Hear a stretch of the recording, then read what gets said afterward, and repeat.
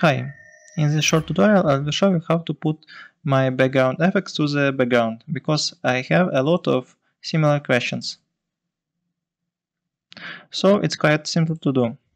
You just need to set another um, layer for particles, then change uh,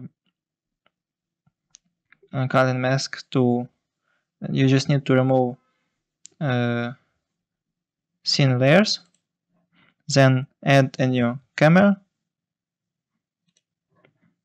and uh, change it to depth only and uh,